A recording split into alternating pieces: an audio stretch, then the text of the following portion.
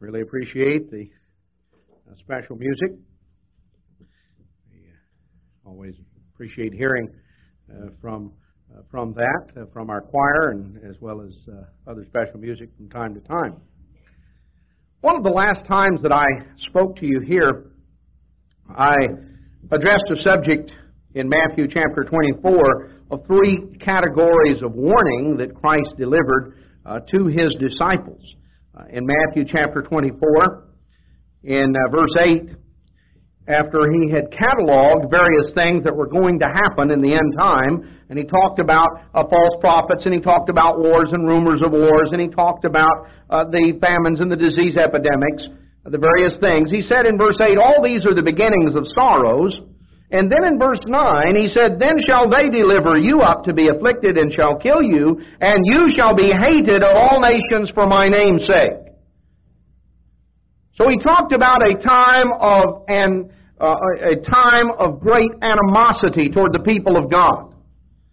Now, brethren, before you can be hated of all nations for the name of Christ, before you can be hated for the truth of God, you must first be known and you must be known for the truth of God.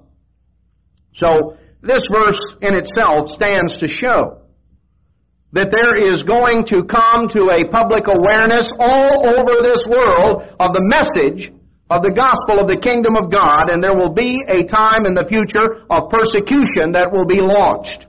The people of God. Now notice what Christ said in verse 10, Then shall many be offended then.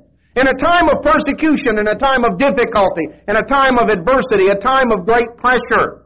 He said, Then shall many be offended, and shall betray one another, and shall hate one another. So he talked about a time when many would be offended.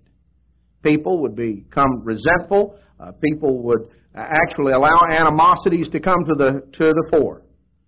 So Christ is speaking here to his disciples, and I think it's important to understand in Matthew 24 that the whole context is the disciples came to him privately off on the Mount of Olives and asked him some questions about what would set the stage for his return as the Messiah, his appearance as the Messiah in power and glory, and the bringing in, the ushering in of a new age. And all that Christ said in Matthew 24 was, pre- all of these comments were predicated upon the question that had been asked. What will be the sign of your coming and of the end of this age? So Christ warned them. Speaking here, warning his disciples, warning God's people, that there would come a time when many would be offended. And then in verse 11, he talked about that many false prophets shall arise and deceive many. So we find that many will be offended, many will be deceived, and in verse 12, because iniquity shall abound. Iniquity, the word uh, here literally uh, means lawlessness. You know, anomia. Uh, nomos is the Greek word for law, iniquity. Because lawlessness shall abound, the love of many shall wax cold. So we find that many will be offended, many will be deceived, and many will simply grow lukewarm, grow sort of cold and indifferent because of the certainly the lawlessness of the society and a lack of focus on God's law. Because real love is not just a feeling or an emotion, real love flows through the channel of God's law. You know, love is the fulfilling of the law. God explains that to us. Then we're told in verse 13 that he that shall endure, he that shall Uh, abide, that shall remain steadfast unto the end, the same shall be saved. Now, I went into each of these three categories, and I don't propose to do that today, but I want to focus our attention on one specific one that I think a little more attention needs to be given to, and that is in verse 10, when it talks about many shall be offended. The word offended, or the word offend, means to stumble. To offend means to cause to stumble. And God, throughout the Scriptures, draws the analogy of the Christian life being a pathway. Uh, that we follow a way of life, a path of life. And there are things that cause people to stumble as they walk that pathway. Now, if Christ takes the time to warn us that something is going to be a problem, the reason, the whole reason you give a warning is to keep someone that you love and care about from being hurt or being uh, some way damaged. Uh, when a severe weather warning comes on the news, uh, on the television, or on the radio, the purpose is to keep people from getting hurt. Back a couple of years ago when we had the hurricane that came through and the warnings were given, uh, the reason the warnings were given was to save lives, to prevent people from being uh, hurt and, and problems from, from resulting that way. So, Christ gave warnings. And these warnings are important, and they're warnings that, to which we, as the people of God, must take heed.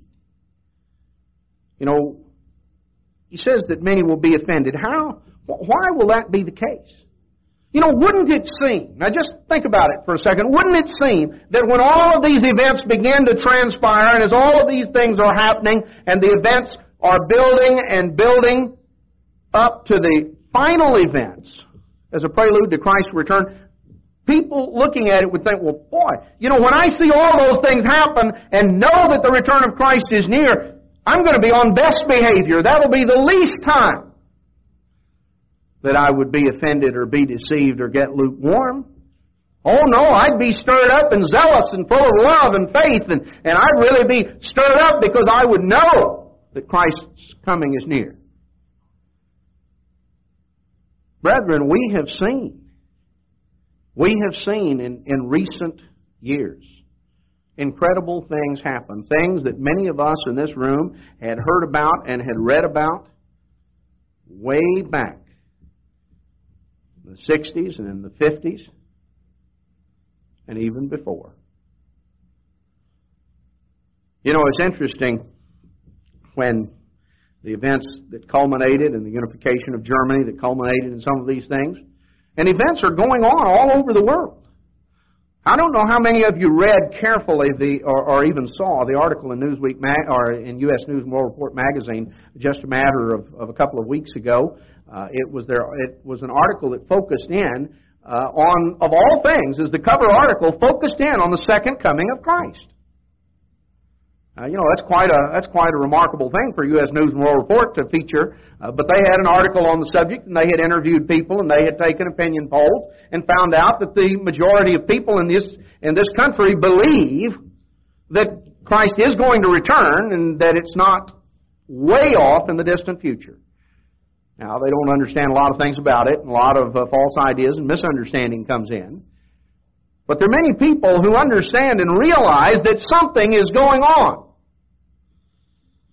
and they see these things. One interesting point that U.S. News made in there, they uh, focused in on what was happening in other places.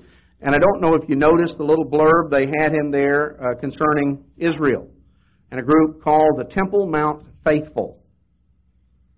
And the fact that uh, they even reported uh, an incident that I think I'd mentioned to some in Bible study, uh, but they even reported the fact that the that in the last uh, oh, I guess a year or so, uh, that uh, there has even been uh, a special agreement uh, that had been worked out involving the importation of cattle uh, to Israel. You know, one of the things that is necessary before the rebuilding of a temple, the rededication of an altar, one of the things that is necessary is you've got to have uh, animals to sacrifice, and you also have to have specifically as it uh, describes back in the books of the law, what were called the waters of purification, which was necessary uh, to make everything ceremonially clean. And that involved uh, the, you can go back and read the details in the book of Numbers, but it involved the, the ashes of a red heifer. Uh, a red heifer that was uh, slaughtered uh, and whose a- that was burned totally together with hyssop and cedar wood and scarlet cloth until nothing but ashes remained, and then the ashes of the heifer were mixed in with water, and this was the water of purification. You can read the, the details that are given.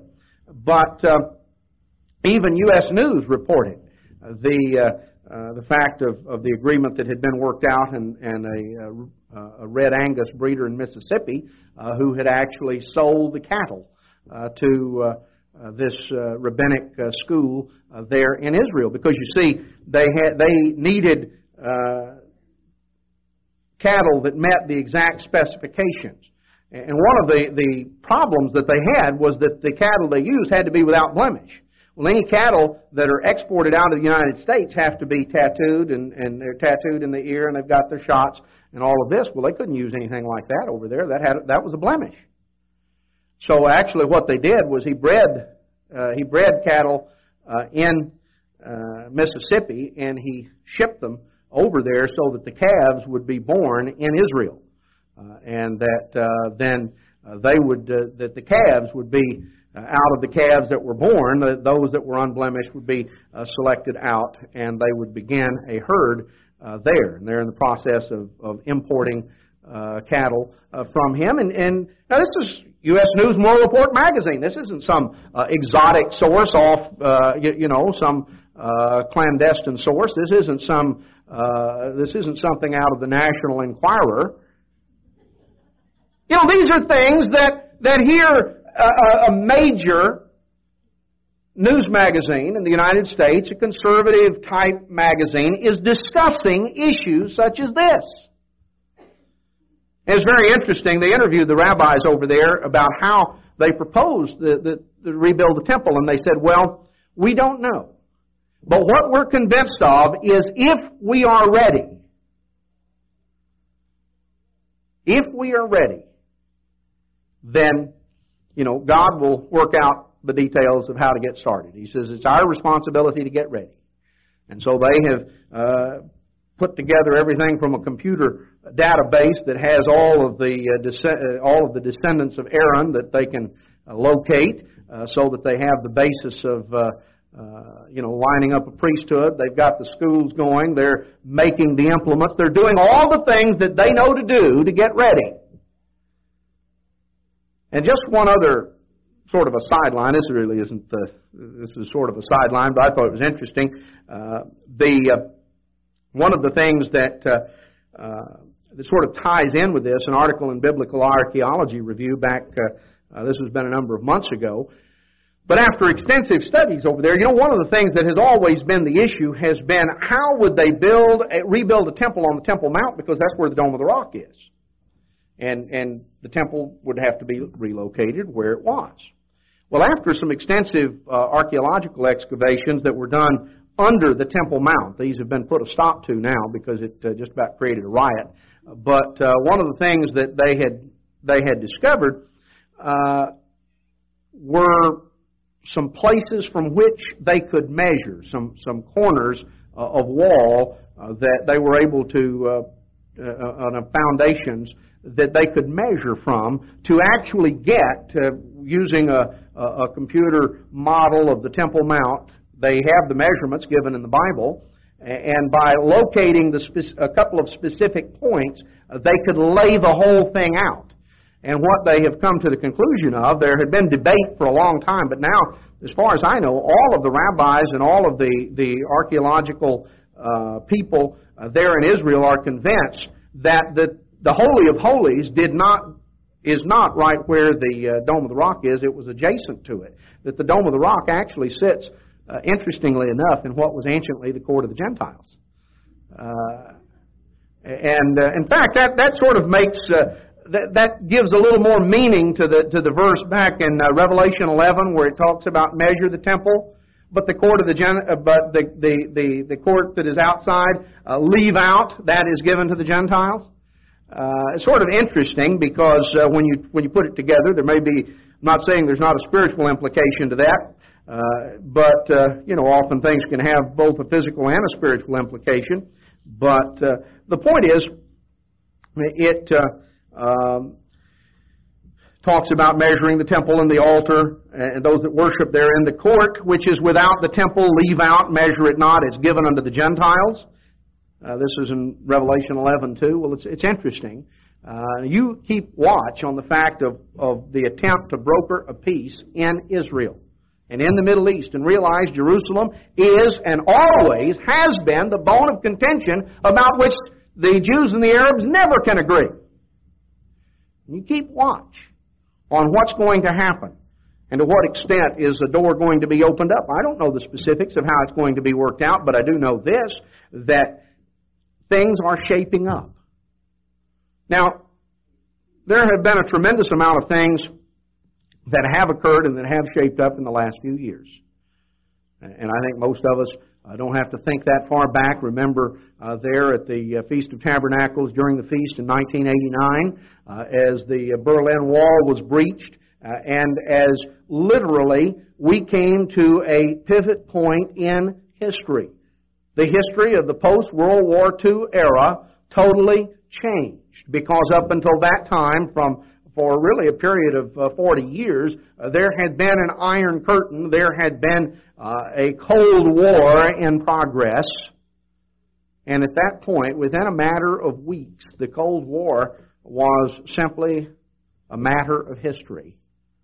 And the entire face of Europe had changed, and the stage was being set.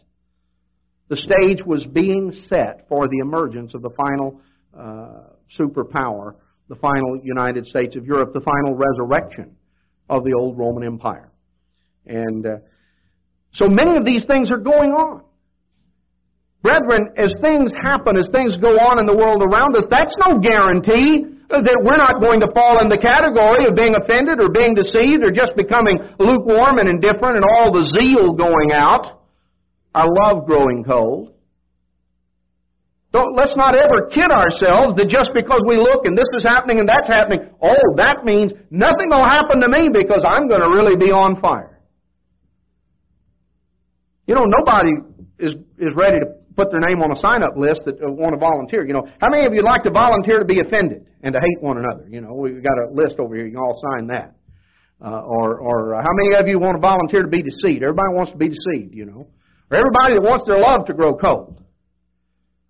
Well, you could put that list out anywhere, and I don't think you'd get any signers. You know, I don't think, I don't think you'd get any signers. Nobody wants to volunteer for something like that, and yet Christ said it would happen to many people. It happened to many. He didn't say maybe one or two. Now, what is this about being offended? What is it that causes people to be offended? You know, wouldn't it be a terrible thing to, to be in that category? Well, you know, we don't have to be.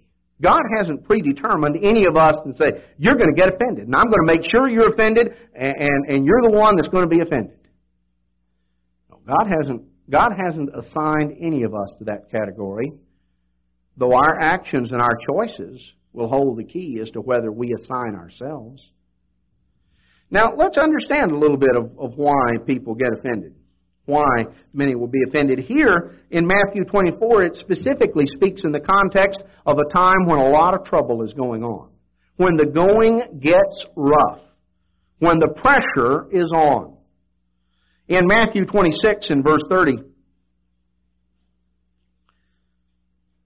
we read here of the conclusion of the Passover service, Christ's final Passover with the disciples. When they had sung a hymn, they went out to the Mount of Olives. And Jesus said unto them, All of you shall be offended because of me this night. For it is written, I'll smite the shepherd, and the sheep of the flock shall be scattered together. Now notice in verse 33, notice what Peter said. Peter answered and said, Lord, though all men be offended because of you, I will never be offended. Don't lump me in with that. That'll never happen to me. I'll never be offended because of you. Boy, you can count on me. You know, Christ told him, He said, Peter, before the cock crows, you're going to deny me. You're going to deny me three times. Well, Peter didn't believe that. Well, Peter said, No, it doesn't matter. I'll die with you, but I won't deny you. And then all the others piped in and said, Me too. We'll never do a thing like that. And you know what, brethren? At that moment, they didn't think they would. At that moment, none of them thought they would. That's the last thing Peter ever imagined himself doing, and it's the last thing any of them, they thought, well, I wouldn't do something like that. Well, you know the story. Christ came there to the Garden of Gethsemane, and he took Peter and James and John mentions in verse 37, took them apart. And he went even apart from them to, to pray, and he asked them to wait there and pray with him. And in verse 40, when he came back, he found them asleep. And he said, Can't you fellows watch just for an hour? Can't you be alert just for an hour? You know, watch and pray, verse 41, that you enter not into temptation. The spirit indeed is willing, but the flesh is weak. You see, here's the problem. It wasn't that Peter didn't mean it when he said, Oh, I won't ever be offended. Oh, it's not that Peter didn't mean it. It's not that Peter didn't mean, I will never let you down. He, oh, he meant it when he said it. Christ told him, He said, the Spirit is willing. You know, you really mean that, Peter, but the flesh is weak. You're relying on your strength. And your strength in a crisis will crumble. Your faith, your strength, your human strength isn't enough to get you through. So watch and pray. Well, he went aside and he prayed the second time. When he came again, he found them asleep. Their eyes were heavy. In verse 44, he left and went away and prayed again, third time, saying the same words. And then he came to his disciples and he said unto them, Well, you might as well go on and, get your rest because uh, now the time is at hand. The Son of Man is betrayed. And, and, you know, then they began to sort of look up and try to figure out what was going on. And he said, Come on, let's get going. And as they came back there, you know the story. The soldiers came in and Christ was taken. And in verse uh, 56, the latter part of the verse, we read, Then all the disciples forsook him and fled. When the going got tough, they got scared. Now, you know the difference? They were confronting an intense, horrible crisis. But they were confronting it on their own strength. They didn't recognize the insufficiency of their strength to see them through. Well, he says, you'll, you'll be offended. You'll stumble. You will, you'll run like, you'll scatter like a covey of quail. When all the soldiers showed up and the, and the torches blazing and the spears uh, being held and the swords there and all of the, the confusion and all of the things, and here he was taken and, and what was happening now? now Peter had drawn his sword out. He was ready to fight, and then Christ, uh, he, uh, all he managed to do was hack the guy's ear off, and Christ picked it up and put it back on. Told him, he said, Peter, what's this sword going to do? You know, here they are surrounded by, by scores of soldiers with weapons. Peter's got his little sword there. I, well, this is really going to accomplish something. Christ told him, He said, Peter, he says, You know, I could ask my Father, and He'd send 12 legions of angels. He that lives by the sword dies by the sword. You put your trust in that thing, and you're going to be laying on the ground dead. Those fellows will make short work of you. You think I'm powerless? You think that I, I have to depend on you and your sword? You think that's the best that I can do? And to demonstrate that power, he picked up the ear and put it back on, and here the guy was healed. Christ wasn't taken because he was powerless. Well, the disciples were scared and they were frustrated, and all of a sudden they thought they were all about to be taken, and they, they split. They got out of there. Christ had talked to them earlier that evening. It's recorded back in John 14 and 15. And as he concludes the words that he said to them there that evening in on the Passover, we read in John 16:1 that these words have I spoken unto you that you should not be offended. They'll put you out of the synagogues. Yes, the time comes that whoever kills you will think that he does God a service. These things will they do unto you because they've not known the Father nor me. See, Christ had taken them through and he had talked about things. They didn't fully get the point when he was talking about it because he wasn't just concerned about that evening. He was concerned about on in the future. They were going to be in a time of intense pressure. They were going to be living through some times of intense pressure. And what were they going to do? How were they going to handle it? Brethren, if we depend on our own strength, our strength will fail in a crunch. There is none of us that has the strength in and of ourselves to make it through all the things that lie ahead. When the going gets tough, we need more than ever the strength and the power of God to be able to endure, to be able to persevere.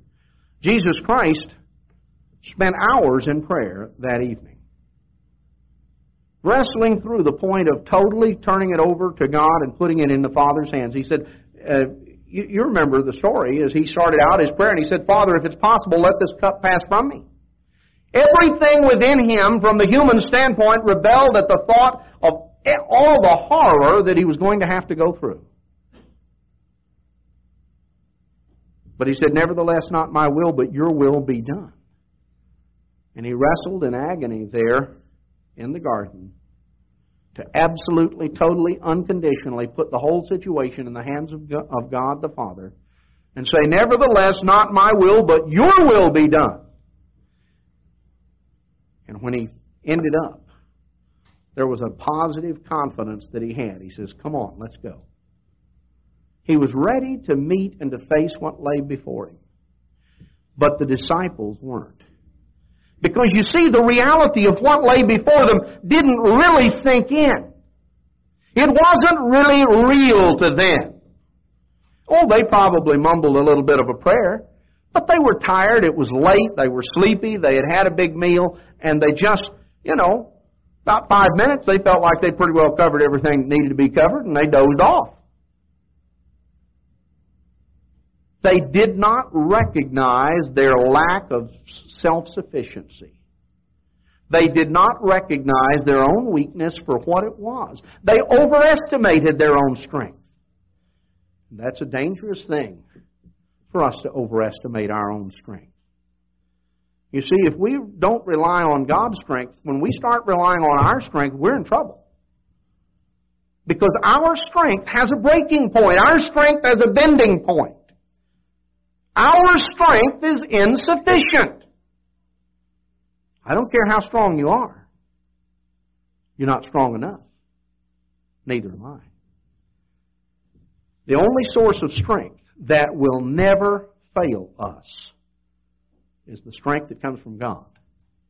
God's strength will never fail in the crunch. Well, you go through. Peter learned that lesson and he learned it deeply and he never ever forgot it. You go through the book of Acts and you read the things that he went through and the boldness that he had. Peter learned how to face the pressure. Because you see, Peter didn't depend on his own strength again. He learned a bitter lesson that night. He did what he thought he would never, under any circumstances, do. Christ allowed that to happen because that was a crucial lesson to be learned. You know, in Matthew chapter 13, one of the parables Christ gives is the parable of the sower and the seed. And he starts out, we start out in chapter 13 talking about the sower and the seed. And remember, the sower went out and he sowed the seed, and some of it fell by the wayside the birds gathered, uh, the birds ate it up, and some of it fell on stony ground, and and it uh, germinated quickly and came up quickly. But then when the sun got hot and the weather got dry, uh, it withered because it had no depth of root. And some fell uh, in an area where there were a lot of weeds and thorns, and it came up, but it never was productive. It was just choked out. And some of it fell on good ground, and it came up and was very productive. Then Christ went through to explain this parable on in the latter part, uh, the mid portion of the chapter. And he said in verse 19, we'll pick it up of Matthew 13, When anyone hears the word of the kingdom and understands it not, then comes the wicked one and catches away that which was sown in his heart. This is he which receives seed by the wayside. He that received the seed into stony places, the same as he that hears the word, and anon with joy receives it. Oh, he hears it and he's excited and he's, he's learned the truth and he's all stirred up about it. Verse 21, Yet has he not root in himself. He has not root in himself, but endures for a while. For when tribulation or persecution arises because of the word, by and by he's offended. Now, here's talking about tribulation or persecution. The word tribulation is an interesting word in the, in the Greek language because it's derived from a word means pressure. It's derived from the same word that uh, we get that the word for wine press. That's what it's talking about. You know, you, you know what happens with a wine press. You fill it up with grapes and start turning the screw, you know, tightening it down. And finally squeezes all the juice out. And sometimes we feel like, you know, that's what's happening to us. Somebody's tightening down the screw and all the juice is getting squeezed out. And that's not a very pleasant feeling. So he talks about, in verse 21 of Matthew 13, two things tribulation or persecution. See, tribulation just means the intense pressure. The intense pressure that comes on. And persecution, of course, is, as, as we all understand. That, that is outright uh, opposition and, and animosity and enmity. It can come uh, in uh, direct ways or a little more uh, less obvious ways. You know, sometimes you can be persecuted in a uh, in a more subtle way, and sometimes in a very direct way, as God's people have been from time to time down through time, uh, through history. But the point is, what happens here? What's this category? It's the category that did not have a good root system. They were not well rooted. They lasted for a while. They started out quickly and they lasted for a while, but when the pressure got on and when the trouble and the, the opposition, the persecution began to build up, they withered. They were offended. You see, pressure is what causes many to be offended. We're warned about that. We're warned that many will be offended when the pressure is on. That's the specific thing that Christ mentioned in Matthew 24 that the time when many will be offended will culminate when the pressure is really brought to bear. You know, when we're under a lot of stress and pressure, it brings out certain things. And this happens on the physical level. I think we all know when a disaster strikes, uh, for some it brings out their best, and for others it brings out their worst.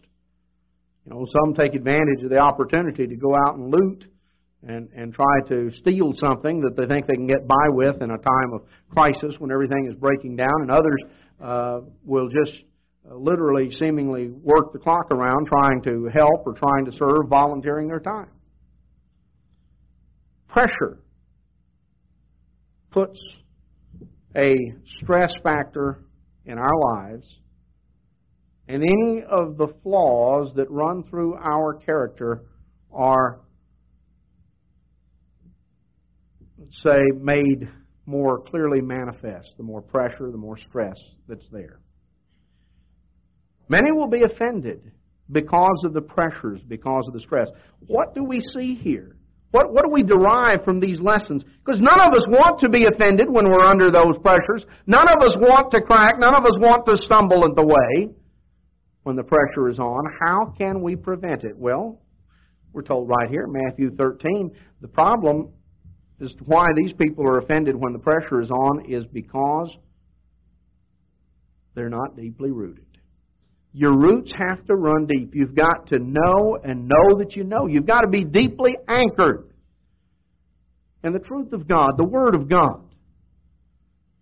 Because if you're not, you won't endure. Sometimes the only thing that enables us to make it through is because we know and we know that we know what God says. And that's all that enables us to hang on.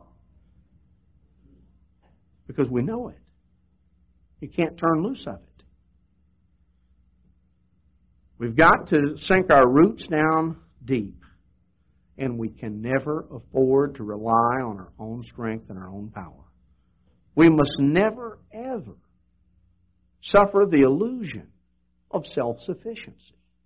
Because, brethren, none of us, none of us are sufficient unto ourselves. We are deeply dependent upon the power of God. And we must never lose sight of that. Pressure is a source of offense. Some will be offended when the pressure is on because the roots don't run deep and they're not really relying on the power of God.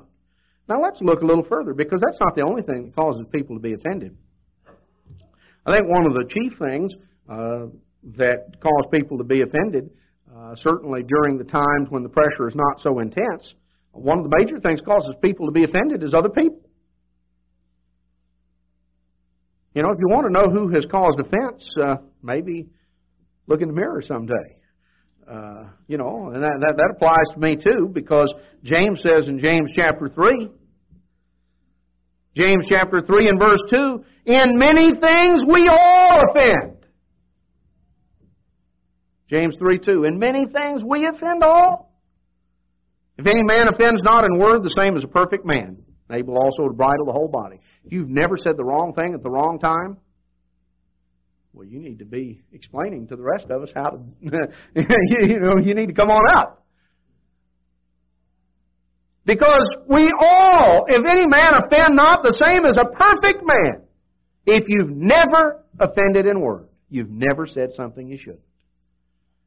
Oh, one of the great things that can cause people to stumble is other people. And when we're living in times that are relatively calm, oh, when you compare the times of pressure and the times of intensity, I know some of you are going through great pressure and intensity in your own personal lives right now. Maybe because of health problems or financial problems or, or family problems or things of that sort. And we, we go through our times of intense pressure in our personal lives. But let's face it, in the world in which we live right now, it is a time of relative calm for most of us.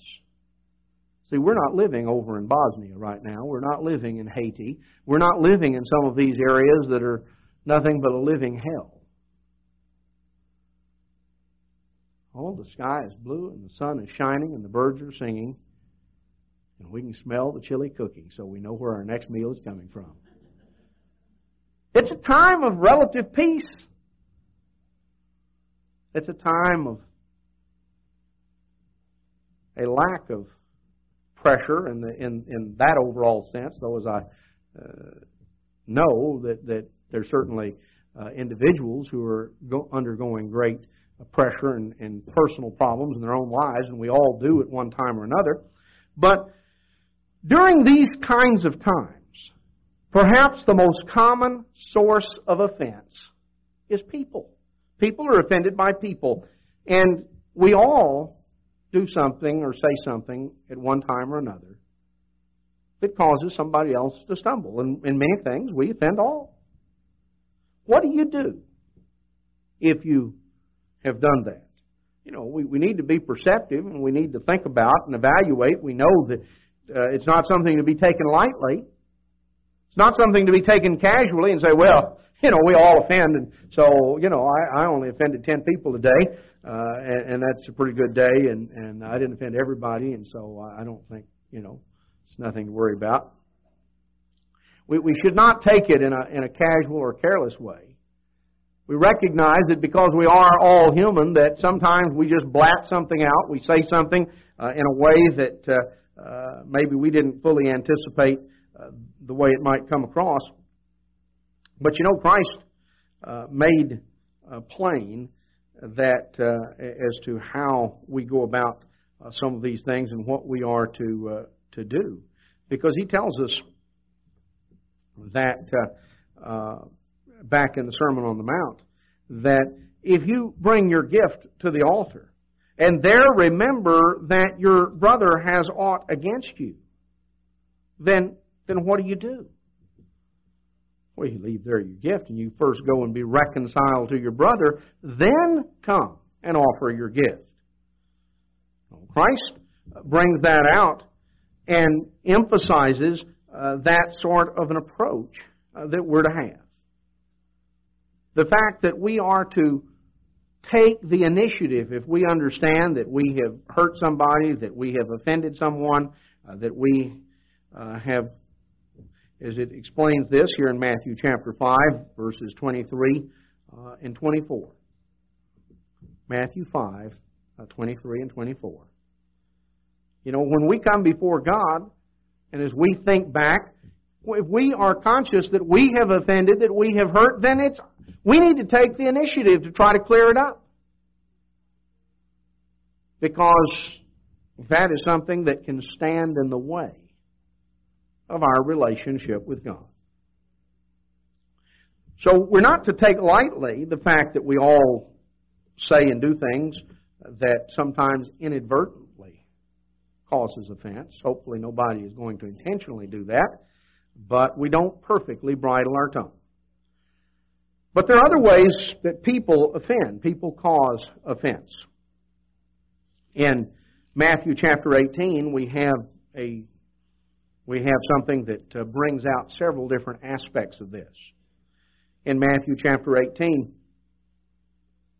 in verse 1, the disciples came to Jesus and said, Who is the greatest in the kingdom of heaven? And Jesus called a little child and set him in the midst of them. And he said, Except you be converted and become like this little child, you will in no wise enter into the kingdom of heaven. I want to read this portion out of the New English Bible uh, because I think it gives uh, a little clearer sense uh, than uh, just a, a, little more readable here. Uh, disciples asked, Who's the greatest in the kingdom of heaven? He called a child, set him in front of them and said, I tell you, unless you turn around and become like children, you see, that's what the word repent means, it means to turn around. Unless you turn around and become like children, you won't enter into the kingdom of heaven. Let a man humble himself till he is like this child, and he will be the greatest in the kingdom of heaven. Whosoever receives one such child in my name receives me. But if a man is a cause of stumbling, to one of these little ones who have faith in me, it would be better for him to have a millstone hung around his neck and be drowned in the depths of the sea. Alas for the world that such causes of stumbling arise. Come they must, but woe betide the man through whom they come. If your hand or your foot is your undoing, cut it off and fling it away. It's better to enter into life maimed or lame uh, than to keep two hands or two feet and be thrown into the eternal fire. If it's your eye that you're undoing, tear it out and fling it away. It's better to enter into life with one eye than to keep both eyes and be thrown into the fires of hell. Now, Christ obviously is talking here using something to illustrate a point that no matter how close, how important something is to you, don't let it be your undoing and the undoing of others. Don't hold on to it. Obviously, if you have a problem with stealing, cutting off your hand is not going to solve that problem. Because stealing originates in the mind. The hand merely carries out the, man, the mind's directions. The fact that you can't see is not going to prevent you from ever lusting. Because you can't tear out the eye that is in the mind. So, Christ is using an illustration here. But I want to, to call your attention because a lot of times we read that He's talking about those who cause others to sin, those who, whose conduct, those whose actions, whose words or actions cause others to stumble. It's interesting that the opinion of the rabbis was that Jeroboam was the worst sinner. And you know why? Uh, this was their this was their reasoning because every time it mentions him in the Old Testament, it always adds the phrase, he, for he caused Israel to sin. He caused Israel to sin. You know, that's the, the record that he goes down by. Uh, just might notice a little bit back in 1 Kings 14. You remember the story of Jeroboam. He was the one that Solomon had run out uh, of town, had run out of, of Israel, and, and, and Jeroboam had been in uh, Egypt for a period of time, finally came back after Solomon's death. And Rehoboam, who took over as king, was sort of an insecure sort, and he was going to let everybody know who was in charge. And he wound up, and the whole thing erupted and blew up in his face. And Jeroboam emerged as the leader of sort of the tax protest movement of the day. because they were complaining about high taxes, which seems like the Israelites have been doing ever since, you know, and all down through time. Uh, that's a good uh, gimmick for a politician is to uh, claim that he's going to have he's going to lower the taxes. Well, Jeroboam made that promise. That was his political platform. Read my lips. No new taxes. Uh, we're going to we're going to cut taxes. Uh, I don't know whether he did or not. He certainly made a mess of things when you go through and read uh, about Jeroboam. But he was he was the man of the moment. He was swept into office. The ten tribes uh, put him in as their king, and if it hadn't been for God's mercy to David, Rehoboam would have been totally out on his ear. Well, Jeroboam gets in and he's king, and the first thing he begins to do is look around and figure that when the new wears off, you know, people are going to be going down to Jerusalem every year at the feast, and they're going to be there at the temple, and Rehoboam, of course, will be there in a prominent position because, after all, he's king down there. Jeroboam thinks to himself, see, little human reasoning. He says, you know, it's just going to be a matter of time till they get tired of me, and uh, then they're going to start looking to him. Of course, it, you know, that's the way it is. Uh, the politician comes in and, oh, he's the man of the hour, he's the savior of the people, and uh, give him a year or two, and usually people are ready to throw the bum out, and you see all these signs, don't blame me, you know, I voted for somebody else. Uh, and uh, people, you, in fact, sometimes it gets hard to find. How, how did this guy get in there? Nobody supports him. Uh, everybody's against him. They've been against him for years. Uh, well, Jeroboam was enough of a politician. He knew, see, that that trouble was going to come up, and after a while, uh, old Rehoboam was probably going to look pretty good to him, and then he would be out. So he came up with a plan. He said, "You know what we're going to, what we need to do is stop them from going to Jerusalem. The way to do it is not forbid them, but offer them something up here." So he said, "You know, we need to make religion a little more convenient." Go to Dan or Bethel. And you don't have to make that long trip to Jerusalem. And you know, the way the feast falls there in the seventh month, that's so jam up to harvest time that it sometimes really puts you in a bind to get all the crops in and be able to leave. Why don't we just move it back to the eighth month? That'd be a little more convenient. So, Jeroboam introduced a couple of, quote, reforms. Now, were they really reforms? Well, it was just an attempt to make himself popular. Well, he saw that uh, he started having problems with the priesthood. You see, the Levites, the Levitical cities up there, you can see that a lot of the Levites weren't going along with him, so the thing he decided to do was get some new priests. So he began to make the lowest of the people priests and to uh, get rid of the Levites. And you can read of this, you see, as it talks about in, in uh, verse 33 of, of 1 Kings 13. Uh, he returned not from his evil way, made again of the lowest of the people priests of the high places.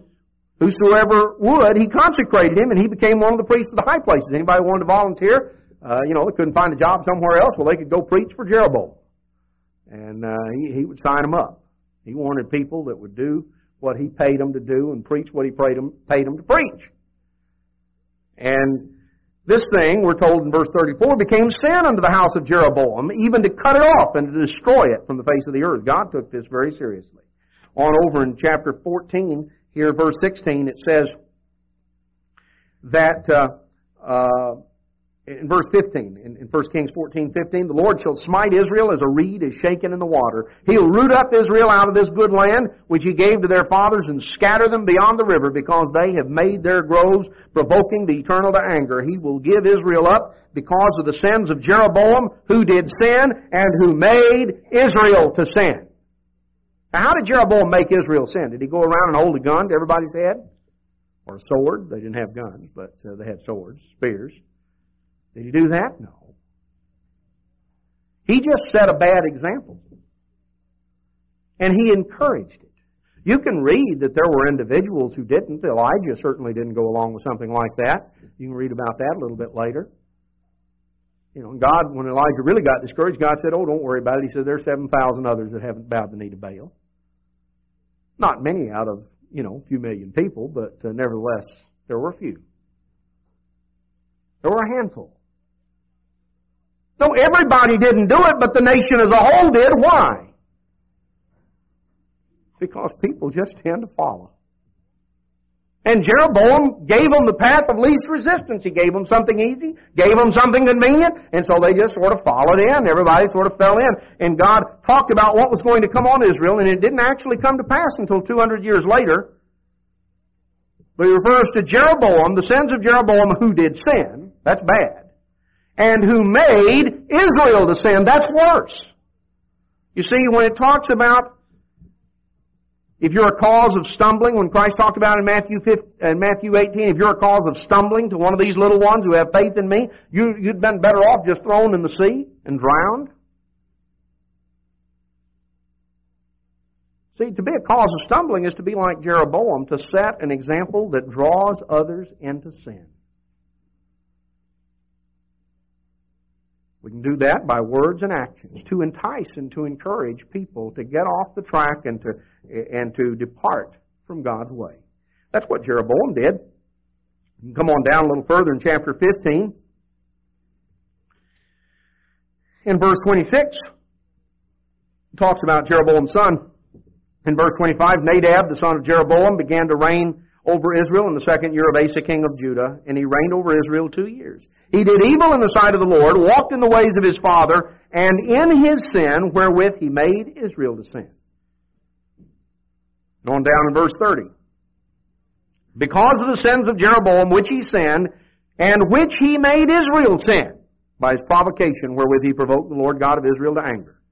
On down in verse 34. He did evil in the sight of the Lord, walked in the way of Jeroboam, and in his sin wherewith he made Israel to sin.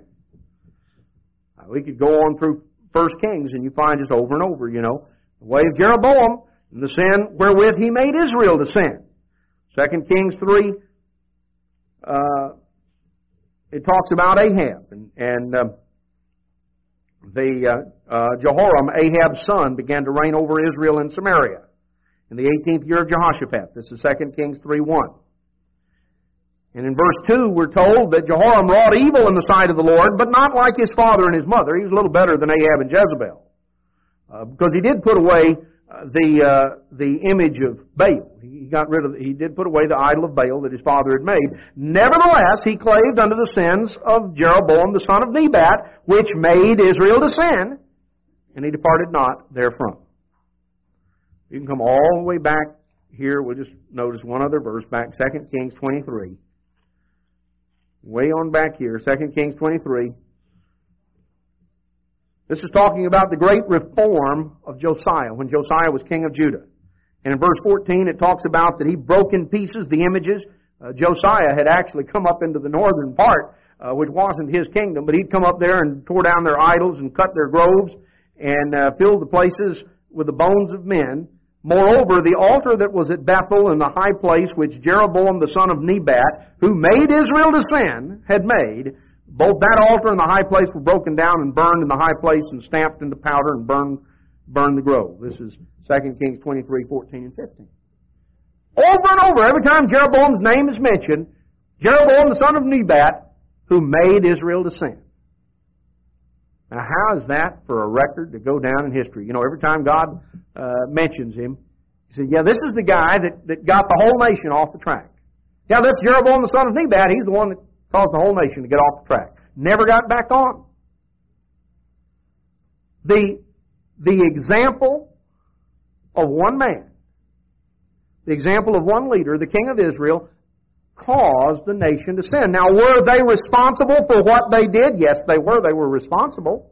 You find that there were times of revival, and and uh, there were those who left and who came down to celebrate the Passover of Hezekiah. You can read that. We won't go through it, but it's back there in Chronicles.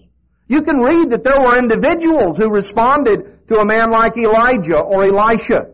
There were servants of God in northern Israel, but the nation as a whole got off the track and never came back. Christ in Matthew 18 says,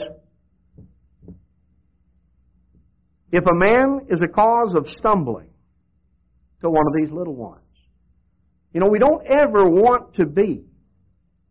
We don't want to have some record of us like a, record of Jeroboam. Yeah, he's the one that that uh, uh, you know got all those people uh, messed messed these people up and, and caused them to sin. He's the one that got them off the track. No, we're warned. You see, people are offended because of people. People stumble because of people.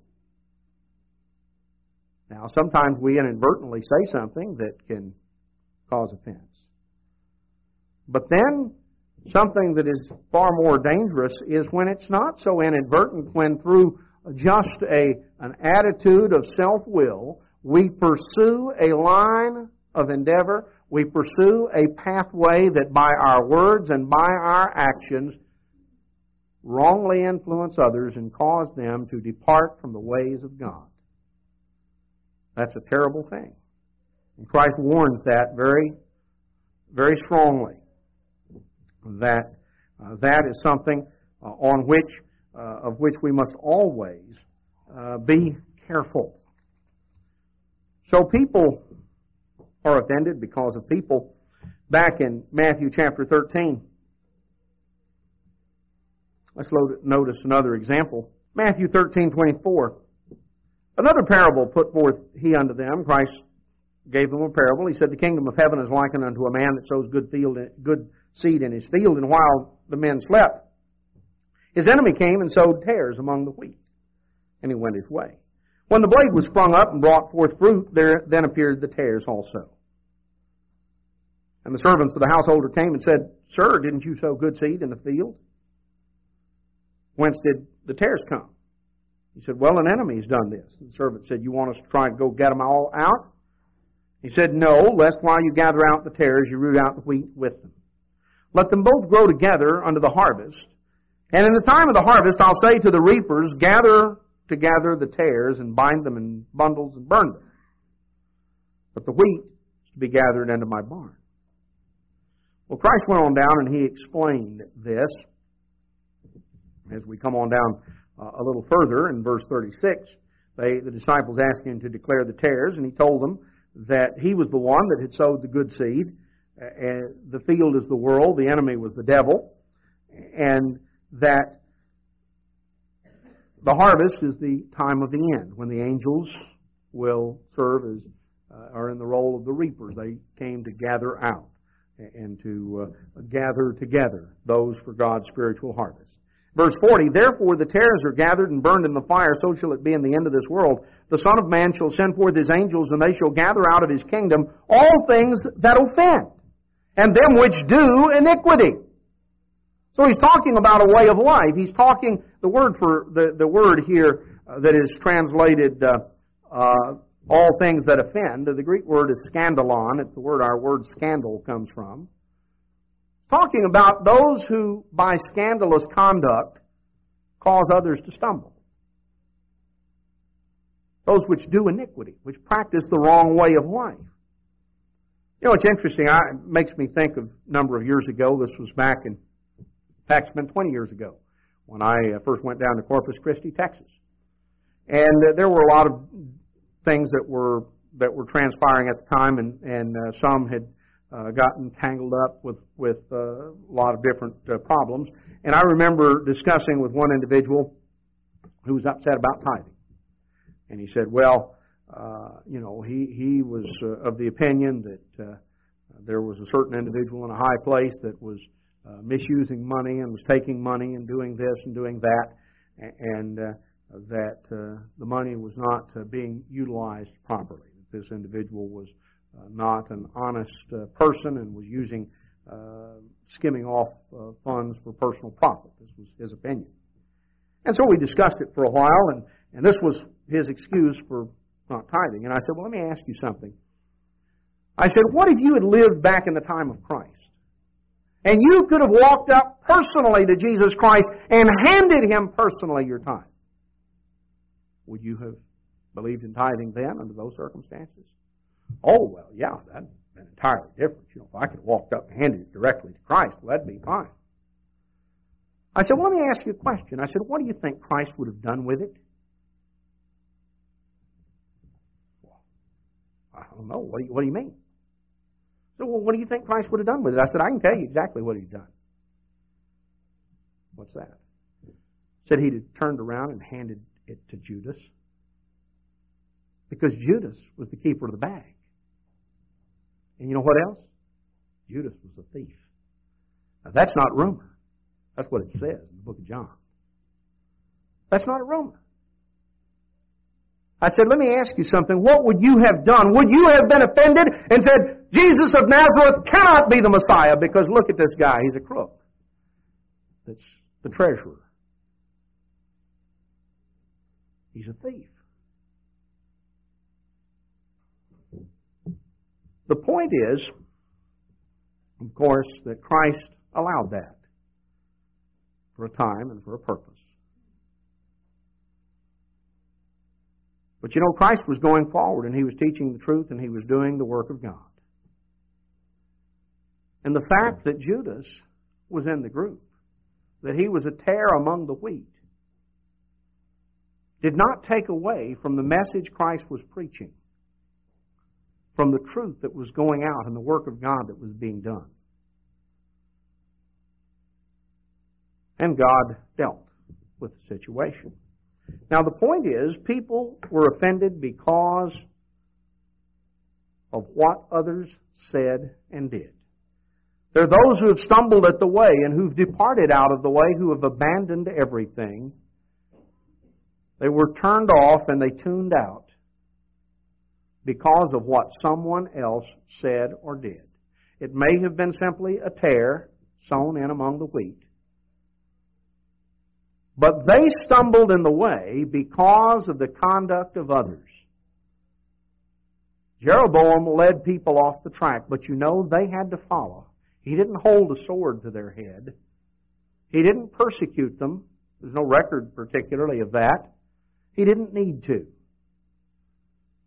All he did was set them a bad example and encourage them to follow, and pretty soon the vast majority had fallen into step. So offense can be caused, people can stumble in the way because of other people. They can be turned off because of scandal and abandon everything simply because of a tare that Satan has sown among the wheat. There are those who can follow others off the track and get tangled up in all sorts of things. Begin to, to get it just like Jeroboam did. See, he didn't tell them not to worship the true God anymore. If you go through, you find that Jeroboam continued to use the name of Yahweh, the true God of Israel. He just brought in all this other stuff and got the nation off the track. Now, if we're going to avoid stumbling at the conduct of others, we've got to be committed. We've got to be committed to what God says. We've got to see the big picture. You know, we can't have an attitude of resentment or animosity toward others. Well, Christ uh, gives, or, or uh, rather, Luke records the example back in Acts chapter 7, one that we're familiar with, Stephen, the martyrdom of Stephen. Now, Stephen told the people the truth. And the truth made them mad because that's we're going to see the third thing that people can get offended by. People can people can stumble when they're under pressure. People can stumble because of the words and deeds of other people. And sometimes people just simply stumble because of the truth. Now, Stephen told them the truth, and they took great offense. In fact, in, in Acts 7, uh, Uh, 54, when they heard it, they were cut to the heart and they gnashed on him with their teeth. And he, being full of the Holy Spirit, looked up steadfastly into heaven and saw the glory of God and Jesus standing on the right hand of God. And he said, Behold, I see the heavens open and the Son of Man standing on the right hand of God. He actually saw in vision the throne of God in heaven and he actually saw. God performed a miracle and allowed Stephen to actually see that to strengthen and to encourage him at this intense time. And of course, at that point, they just put their hands in their ears and they attacked him, uh, cast him out of the city, and stoned him. Verse 58. In verse 59, as they stoned Stephen, calling upon God and saying, Lord Jesus, receive my spirit, he kneeled down and cried with a loud voice, Lord, lay not this sin to their charge. And when he had said this, he fell asleep. You know, Stephen offended them with the truth. But they didn't offend Stephen, even with their rocks. Because Stephen turned it loose. He put it in God's hands. He didn't have an attitude of resentment and retaliation. He understood what it meant to forgive. Brethren, if we're not going to be offended by people, by the things that people say and do, intentionally or unintentionally, we're going to have to exemplify the attitude of Stephen. We're going to have to exemplify the same humility and the same faith that the Syrophoenician woman exemplified in Matthew 15. She had an attitude that's greatly in contrast to the attitude that the Pharisees had, which we're going to see just a little bit later. You remember the story, Matthew 15, where the Christ had landed at the uh, uh, near the area of Tyre and Sidon, and and uh, this is on down. Uh, let's see, about verse uh, uh, 22. a Canaanitish woman came out of the same coast, and she cried out, "Have mercy on me, Lord, you Son of David! My daughter is grievously vexed with a demon." And Christ didn't respond. He didn't say anything at the time, and she was continuing to come and to cry out from a distance, and the disciples uh, said, Look, t- tell her to leave. Tell her to go away. She's creating a disturbance. And Jesus told them, He said, I've come to the lost sheep of the house of Israel. I, I, this, is, this time is not the time of a ministry to the whole world. I'm here specifically to the lost sheep of the house of Israel. And uh, so instead of going away, though, she came closer. She kept coming and she came and worshiped him, verse 25, and said, Lord, help me. And he answered her. He said, You know, it's not appropriate to take the children's bread and feed it to the dogs. And she got highly offended and left. Not what she did. She said, Lord, that's true. But you know, even the puppies under the table eat of the crumbs that fall from the plate. That was her attitude an attitude of humility and an attitude of absolute faith. And Jesus said unto her, O woman, great is your faith. Be it unto you even as you will, as you will. And her daughter was made whole from that very hour.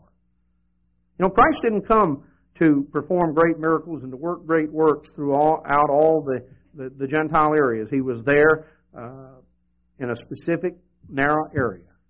But here was a woman that came to him and exemplified an attitude of humility and faith that her example is set down for every one of us. Pointed out. And he performed a miracle for her. Now contrast that with up earlier in the book of Matthew in chapter 15 when the scribes and Pharisees came to Jesus. And they had a question. They said, Why do your disciples transgress the tradition of the elders and they don't wash their hands before they eat bread? Now, the Pharisees had concocted this great tradition that uh, had to do with ceremonial defilement. The issue is not uh, the fact that you, you, you know, you ought to eat with dirty hands. The issue wasn't uh, that they were soil. The issue was that if you had been out in public, you may have brushed against a sinner. And if you touched bread and put it in your mouth, then you were defiled because those hands had been defiled by touching a sinner. You may have touched someone that was ceremonially defiled. And they had this great ritual, rolling up and washing up to the elbows, and they had debates about whether you could use water only from a source of running water or whether you could use water from a, uh, you know, a pond. And they, they, they got into great debates over the subject of where the water came from and all sorts of things. And they noticed that Christ's disciples just simply picked up something and ate it. And they were, they took exception to that. Jesus answered in verse 3, he says, Why do you transgress the commandments of God by your tradition? They asked him, Why do your disciples transgress the tradition? He said, Well, I've got a question for you. Why do you transgress the commandments of God by your tradition? God commanded, Honor your father and your mother. That comes right out of the Ten Commandments. You say, Whoever shall say to his mother or father, It's a gift by whatever you may be profited by me, and honor not his father or mother, he shall be free. Thus have you made the commandment of God of none effect by your tradition. You hypocrites, well did Isaiah prophesy of you, saying, This people draws near unto me with their mouth, and honors me with their lips, their heart is far from me. In vain do they worship me, teaching for doctrines the commandments of men. It's possible to worship God in vain. You have to worship Him in spirit and in truth. They were worshiping Him by teaching for doctrines the commandments of men. And He called the multitude and He said unto them, Hear and understand. Not that which goes into a man defiles a man, but that which comes out of a mouth, out of the mouth, that defiles a man. The issue, if you take it in the context, has nothing whatsoever to do with clean and unclean meats. It has to do with the subject of ceremonial defilement. And he said it's not the bread that you had your hands uh, ceremonially defiled. That'll just go in and go through the digestive system and come out uh, the other end, and uh, that's not going to defile you. But what will defile you is the things that come out of your mouth, that come out of your heart things which come out of a man, out of the mouth. This defiles a man. Verse 12. Then came his disciples to him and said, You know what? I, I think the Pharisees were offended after they heard this saying. You know, I, I think you offended those guys. They left, and boy, they didn't look too happy. I, I think you offended them. You know, sometimes people are offended because of the truth. People will be offended of the truth if they don't have a love of the truth the Pharisees were offended because they didn't have a love of the truth. Christ talked about in, in uh, uh, John 12, in verse 43, he talked about individuals, he says, they love the praise of men more than the praise of God. Now, these were some of the chief rulers who believed in Christ but were unwilling to stand up for the truth, verse 42. Because of the Pharisees, they did not confess him, lest they should be put out of the synagogues. If they stood up, the Pharisees would have kicked them out. And Christ said they love the praise of men more than the praise of God. You see, they didn't love the truth enough. You'll be offended by the truth if you don't love the truth more than your own way. These were individuals. The Pharisees were offended because of the truth because they didn't love the truth. They loved their own way. And that's the normal, natural, carnal thing to love. You know, that's, that's humanly what we love. You find when Jesus came back to Nazareth uh, in his own country, Matthew 13, verses 54 on down through 58, people heard him speak and they said, Where did he get off saying all of this? Verse 54. Whence has this man wisdom and all these mighty works? Isn't this the carpenter's son? Why, we've known his father and mother, his brothers, his sisters. Why, they all live around here. Why, we've known him since he was knee high. Where does he get off coming in and doing this and saying that? And it says, Verse 57, they were offended in him. They were offended by Christ because they were offended by the truth because of the messenger. He said, What? I don't see how he can come up with all this stuff. Well, I saw him grow up. I've known him for years. Know all his family. They were offended. Jesus said unto them, A prophet is not without honor except in his own country and his own house. And he did not many mighty works there because of their unbelief. They were offended. Or you can go through and you can read example after example. Psalm 119, verse 165 tells us, though, very important key.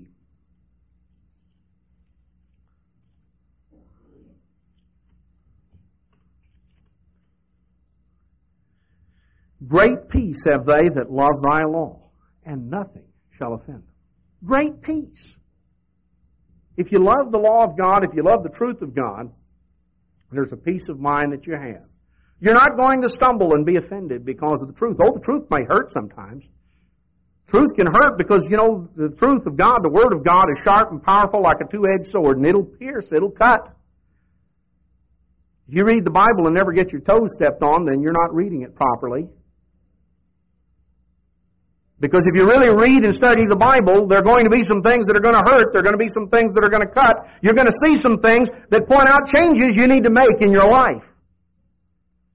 All of us are. Oh, you can read through scriptures and you can find examples of where a man of God came to, to a king or to a ruler and told him the truth. And the ruler was so upset he had the, he had the messenger executed or thrown in jail. He didn't love the truth, he loved his own way. He was offended because of the truth. Some will be offended because of the pressures. Because they're not deeply rooted and anchored and grounded in the truth and they're relying on their own strength and not on God. And they will stumble under pressure. Others will stumble because of the words and actions of other people. Either because they lack the humility and the faith to have the commitment, regardless of what others are saying or doing, because they lack the ability or the willingness to forgive and to let go, because they lack the depth of commitment to God and to His way, the kind that Moses had that you read of in Hebrews 11, that even when all of the, the enticements of sin, Moses didn't wander off the track there in Egypt. You can read it back in Hebrews 11. When he was come to years, he refused to be called the son of Pharaoh's daughter, esteeming reproach for Christ greater riches than all of the riches of Egypt. He was willing to take a stand. He didn't stumble because of people, because he endured as seeing him who is invisible. His eyes were on God. We'll never stumble over people if we keep our eyes on God. We'll never stumble under pressure if we rely on God's strength. We'll never stumble because of people if we keep our eyes on God, and we'll never stumble because of the truth if we love the truth more than we love our own way. Now, brethren, none of us have to be in that category of those who stumble, of those who are offended. Many will be. But you and I don't have to be. We can rely on God's strength and God's help. We need to draw near to Him, we need to focus on our relationship with Him and walk with God. And therein have the strength and the spiritual wherewithal to endure whatever may come. Ups and downs and all sorts of things that are going to come between now and the culmination of this age. But brethren, God's help and God's power is there for you and it's there for me. We've got to draw close to Him and we've got to draw on that and we've got to walk with Him. And if we walk with God, we will never stumble out of the way.